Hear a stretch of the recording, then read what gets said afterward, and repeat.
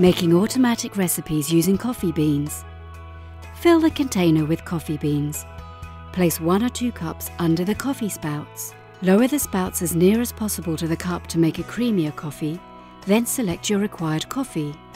Preparation begins.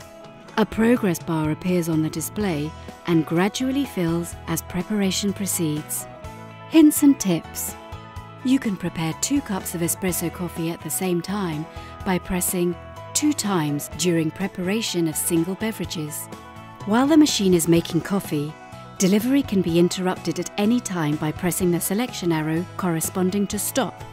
At the end of delivery, to increase the quantity of coffee in the cup, just press and hold within 3 seconds one of the coffee buttons. Once the coffee has been made, the appliance is ready to make the next beverage.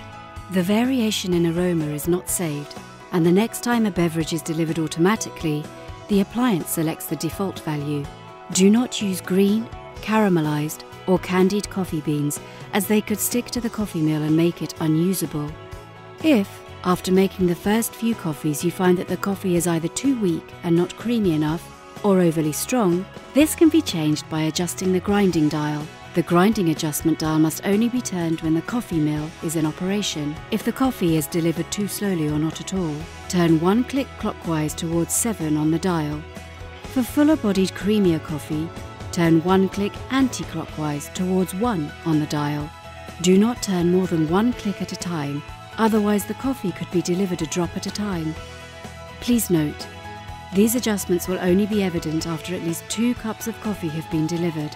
If this adjustment does not obtain the desired result, turn the dial another click. For hotter coffee, you should warm the cups with hot water using the hot water function or increase the coffee temperature in the settings menu.